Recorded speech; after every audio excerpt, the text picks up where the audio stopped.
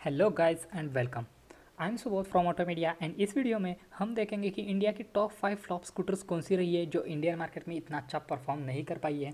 और हम इस लिस्ट में रिसेंट स्कूटर्स के बारे में बात करेंगे मतलब ज़्यादा हम पुराने ज़माने में नहीं जाएँगे। रिसेंटली टू थ्री ईयर्स में जो बाइक्स आती थी, जो अभी भी सेल्स पर है या फिर सेल से डिसकंटिन्यू कर दी है, उसके बारे में बात करेंगे। तो स्टार्ट करते हैं वीडियो को। फ़र्स्ट नंबर पे मैं यहाँ एक नहीं, दो मोबाइल्स को मेंशन करना चाहूँगा Honda Navi and Honda Cliq इन दोनों मोपेड्स में हमें एक्टिवा का ही सेम इंजन देखने को मिलता है, जो 110 सीसी का है अराउंड 8 पीएस की पावर एंड 8.8 न्यूटोमीटर्स का टॉर्क इंजन जनरेट करता है। एक्टिवा से कंपेयर करते हैं, इसकी प्राइस कम थी, लेकिन फिर भी लोगों ने इनके वजह कन्वेंशनल स्कूटर्स को ज़्यादा प्रेफर किया। उसके कारण इनकी सेल्स बहुत ही कम रही है और अब होंडा ने इनको इंडियन मार्केट से डिसकंटिन्यू भी कर दिया है। अगर इसके फेलियर का रीज़न जानने की हम कोशिश करें तो होंडा ने नवी एंड क्लिक के साथ कुछ अलग करने का ट्राई किया था। मिनी स्कूटर्स या फिर मिनी बाइक जैसा इनमें डिज़ाइन दिया था। लेकिन इंडियंस को ये डिज़ाइन इतना कुछ खास पसंद नहीं आया। तो इस लिस्ट में पहले नंबर पे थी Honda Navi and Honda Click और सेकंड नंबर पे इस लिस्ट में बाजी मारी है महिंद्रा गस्टो ने। अब इसकी क्या ही बात करूँ मैं? महिंद्रा ने गस्टो को पहले हंड्रेड एंड 110 सीसी के साथ निकाला था, फिर उन्होंने सोचा कि चलो अब इसका परफॉर्मेंस वर्जन निकालते हैं और उन्होंने 125 सीसी का मॉडल निकाला, जो 8.7 पीएस की पावर एंड 10 न्यूटोमीटर का टॉर्क प्रोड्यूस करता था। वैसे फीचर्स तो उन्होंने बहुत दिए थे, जैसे कि इसमें एडजस्टेबल सीट मिलती थी रिमोट की मिलती थी, लेकिन इसके सेल नंबर्स इतने अच्छे नहीं थे। महिंद्रा का फोर व्हीलर्स का नेटवर्क तो काफ़ी बड़ा है, लेकिन इनका टू व्हीलर्स की after sale service and dealership network इतना कुछ खास नहीं है। और मुझे लगता है यही मेन रीज़न है कि लोगों ने इसको इतना ज़्यादा प्रेफर नहीं किया एंड फिर महिंद्रा ने भी अब इसको डिसकंटिन्यू कर दिया है। इस लिस्ट में थर्ड नंबर पे है T V S Scooty Zest Scooty Zest एक 110 सीसी की स्कूटर है और ये स्कूटर अभी भी सेल पे है, लेकिन इसके भी सेल नंबर्स कुछ खास नहीं है। इस स्कूटर में हमें 8 पीएस का पावर देखने को मिल जाता है, लेकिन टी के पास ऑलरेडी जुपिटर है और जेस्ट में बहुत ही कम फीचर्स देखने को मिलते हैं। माना कि उसकी प्राइस भी कम है, लेकिन लोगों ने उसे इतना ज़्यादा पसंद नहीं किया है।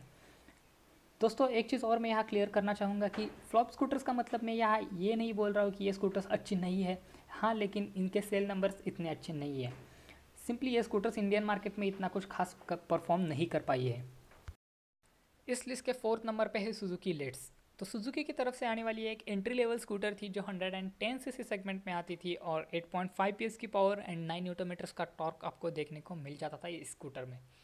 इसको सुजुकी ने 2014 में लॉन्च किया था। फीचर्स भी ठीक ठाक मिल जाते थे। इंजन रिफाइनमेंट भी इसकी अच्छी थी, लेकिन इसकी बिल्ड क्वालिटी थोड़ी एवरेज थी। और जैसे कि टी वी के सिनारियों में जुपिटर है, जो अच्छे सेल्स नंबर्स ला रही थी, ला रही है, वैसे भी यहाँ पर सुजुकी एक्सेस 125 है, जो अच्छे सेल नंबर्स ला रही है, जिसके कारण सुजुकी लेट्स के ऊपर लोगों का उतना ज़्यादा ध्यान नहीं गया और सुजुकी ने भी उसको बाद में डिसकंटिन्यू कर दिया। इस लिस्ट के फिफ्थ नंबर पर मैंने मेंशन किया है टी वी वीगो को। अगेन एक टी वी एस की तरफ़ से स्कूटर है और अब आप लोग बोलोगे कि वीगो एक फ्लॉप स्कूटर नहीं है एंड मैं भी इस बात से सहमत हूँ कि डेफिनेटली वीगो एक फ्लॉप स्कूटर नहीं है, लेकिन अभी के रिसेंट ईयर्स के इसके सेल फिगर्स हम देखें तो वो कुछ खास नहीं रहे हैं। 2010 में कंपनी ने इसको लॉन्च कर दिया था, और ये पहली स्कूटर थी इंडियन मार्केट में जो 12 इंच एलोविल्स के साथ आ रही थी। हंड्रेड 110 सीसी का इंजन मिल जाता था डिसेंट परफॉर्मेंस था ओवरऑल एक बढ़िया पैकेज थी ये स्कूटर और अपने लाइफ स्पैन के कुछ 10 साल में से फाइव टू सिक्स ईयर्स पहले वो पॉपुलर रही, लेकिन उसके बाद के इसके सेल्स ड्रॉप हो गए। लोगों ने बाकी स्कूटर्स को अपना प्रेफरेंस दिया और लास्ट में अब टीवीएस ने इसको बी का अपडेट नहीं दिया है, जिसका मतलब अब ये डिसकंटिन्यू हो गई और मुझे लगता है इसके पीछे का रीज़न जुपिटर का लॉन्च भी हो सकता है, क्योंकि जहाँ से जुपिटर लॉन्च हो गए, दोनों में भी सेम इंजन ऑप्शंस आपको मिल जाते थे और जुपिटर के सेल्स इंक्रीज़ हो गए, लेकिन वीगो के सेल्स डिक्रीज़ हो गए। और भी कुछ स्कूटर्स है जो इंडिया में बहुत कम सेल होती है, जैसे कि हीरो डेस्टिनी है हीरो की मेस्ट्रो है। एक्चुअली मेस्ट्रो की अगर हम बात करें तो उसका जो ओल्ड मॉडल था, वो काफ़ी डिसेंट सेल हुआ था। लेकिन उसके यूज़र रिव्यूज़ इतने अच्छे नहीं रहे। कुछ लोगों ने तो उसमें इंजन रिलायबिलिटी जैसे भी इशू फेस किए थे। अगर आप एक मेस्ट्रो ओनर है तो आप आपका ओपिनियन कॉमेंट सेक्शन में प्लीज़ बताइए। उसके बाद में मेंशन कर सकते हैं हम होंडा एविएटर को। एक्चुअली एविएटर एक फ्लैगशिप स्कूटर हुआ करती थी होंडा के पूरे लाइनअप में। ओवरऑल एक अच्छी एंड डिसेंट स्कूटर थी। बस हल्की सी ओवर प्राइस थी जिसके कारण ज़्यादा लोग उसको अफोर्ड नहीं कर पाए और उसके सेल्स नंबर्स भी ज़्यादा बढ़ नहीं पाए तो बस गाइज़ यही था वीडियो टॉप फाइव की लिस्ट करते करते सेवन टू एट स्कूटर्स को मैं यहाँ पर मैंशन कर चुका हूँ। एक बार और मैं कहना चाहूँगा कि फ्लॉप का मीनिंग मैं यहाँ ये नहीं बता रहा हूँ कि ये स्कूटर्स अच्छी नहीं है, बल्कि ये बता रहा हूँ कि इसको इंडियन मार्केट में इतना अच्छा रिस्पॉन्स नहीं मिला। और उसके पीछे भी कुछ कुछ रीजंस रहे जैसे कि कुछ स्कूटर्स का डिज़ाइन एंड लुक्स अच्छा नहीं थे। कुछ स्कूटर्स में आफ्टर सेल सर्विस अच्छी नहीं मिल रही थी।